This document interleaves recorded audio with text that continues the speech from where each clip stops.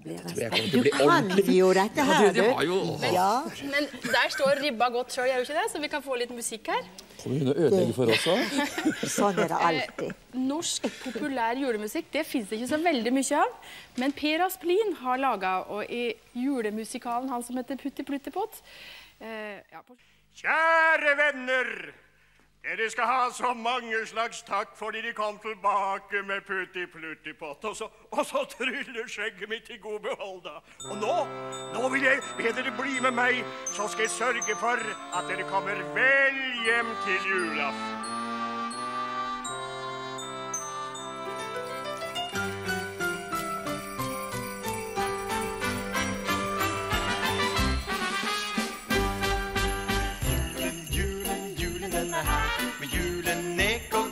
Juletrær.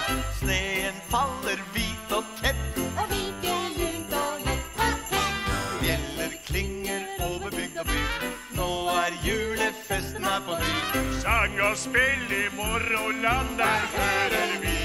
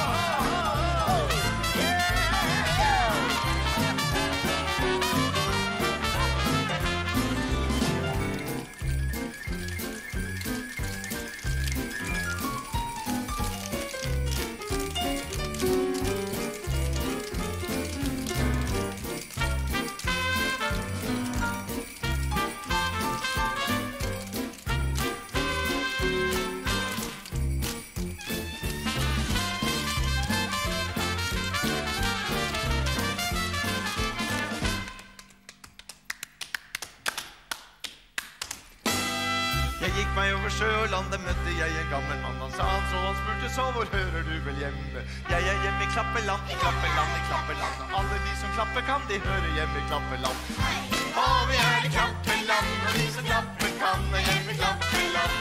Og kanskje vi rundt om en ene fra bussen,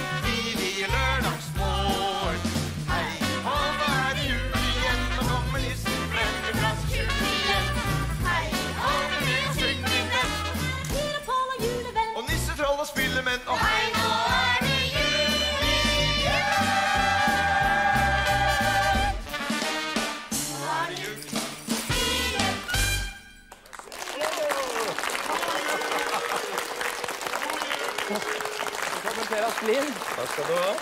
Ja, dette her var jo egentlig eh, avslutningsnummeret det da i Putti Plutti Pott. Ja. Men det var jo en stor slager, da. Ja, Hei, hei, og hå, nå det jul igjen. Ja. Ja. Den husker jeg fra begynnelsen av 50-tallet med The Monkees. ja, det er riktig. Jeg skrev den faktisk i uh, 56. Jaha. Og vi spilte den inn på en sånn eh, gammel 78-plate med The Monkees. Det er blitt en juleklassiker, det også. Den gikk jo hver lille julaften i det Erik Diesens uh, Mens vi venter-program. Men det var vel egentlig først i 1969 at du skrev eh, denne uh, eventyrfortellingen, eller musikkspillet, om uh, Putti Plutti Pott. Ja, eh, som vi fant på liksom den historien med julenissen som har vasket skjegget sitt til jul og hengt ut på trappa osv. Og, så videre, og lille Putti Pluttipott som rappa skjegg og fløy gjennom luften og hele den historien der. Og, eh, og da laget vi den første boka og LP og kassett og et TV-program året etter. Som gikk i reprise tror jeg syv eller åtte ganger.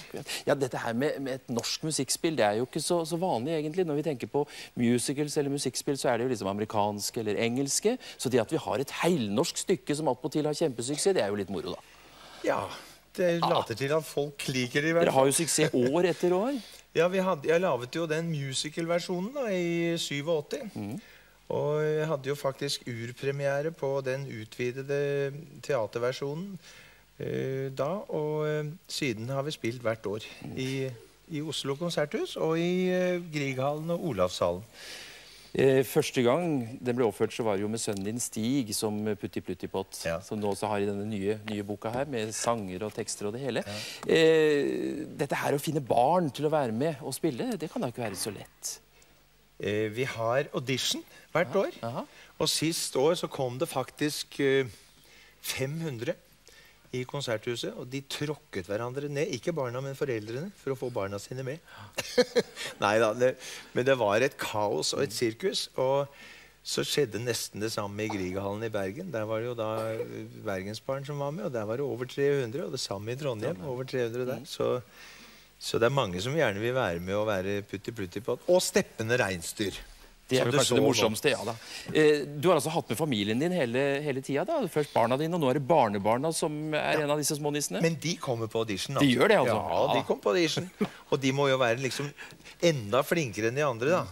Så det, det er selvfølgelig et lite handikap at det er barnebarna. Du lever jo ånder for Putti Pluttipott, eh, Per Asplin, det, det, det vet jeg. Eh, Og, og du har en mening med dette. Det er ikke liksom bare blått lyst og noe som ungene skal synes er moro hvert år. Vi sier jo i forestillingen et sted hvor vi blir fanget i en felle av han derre Nisselands hemmelige sikkerhetspoliti, agent nummer 00 Nix. Han som maskerer seg med solbriller for at ingen skal kjenne igjen. Men det er bare det at ingen andre i Nisseland bruker solbriller, så alle kjenner igjen på solbrillene. Men han da, han har ikke skjønt noen ting. Så han forstår ikke det at vi er kommet for å levere tilbake skjegget og levere tilbake putter puttepott. Så han fanger oss i en felle, og da begynner han lille, den ene lille gutten å gråte. Og så sier jeg, ikke gråt du, sier jeg, for alt ordner seg for snille barn. Det gjelder bare å holde hodet kaldt og hjertet varmt, så blir det bra. Og jeg mener at vi prøver å formidle noe av den, den gode, gamle, positive julestemningen hvor, hvor alle er snille mot hverandre, alle gir hverandre gaver og ønsker hverandre god jul. Og det er litt, eh, ja, Litt godt og varmt. litt godt og varmt Hvordan fikk du ideen? Ja, det begynte jo med 'Hei, hånd er jul' igjen. Mhm. Og så, så var det at vi skulle lage et fjernsynsprogram, faktisk. Et juleprogram. Og så kom jeg på dette sammen med ungene mine, som da var små. da. Og jeg konsulterte dem hele tiden. sa jeg, hvordan vil du si det, og hva sier han da? Hva syns du han skal gjøre da? Og så videre. Så sånn laget de, vi laget hele historien faktisk sammen. Den inneholder jo 17 sang- og dansenummer, denne musikalen, eller musikkspillet, som jeg liker å si. Eh, Det er en sang som jeg tror hele Norge etter hvert har lært seg. Og, og eh, jeg, jeg tror nesten vi må få dere til å ta det nummeret her i Da Capo også. Ja. For eh, samtalen vår skjønner du, Per, den går mot slutten. Vi har Ja. ikke tid Nei, vi har ikke tid. Og da vil jeg, jeg må få lov å si til slutt at, at denne boka har vi jo laget nettopp fordi at der kan de sitte og liksom følge med. Eh, og, og de kan følge med i boka, Ja. mens foreldrene uh, leser, så kan de se på tegningene hva som skjer. Og så kan de gå i teatret og se etterpå og kjenne igjen akkurat det samme. Og nå skal vi spille hele romjula, og vi skal spille stor festforestilling på nyttårsaften. Og da skal vi se om ikke vi greier å finne dette skjegget. Og da kommer også Hakket Ti, som er slageren. Det er den. Ja, det er det Ja. Stikk bort til de andre. Takk skal du ha for å komme, og god jul. like måte. Like måte.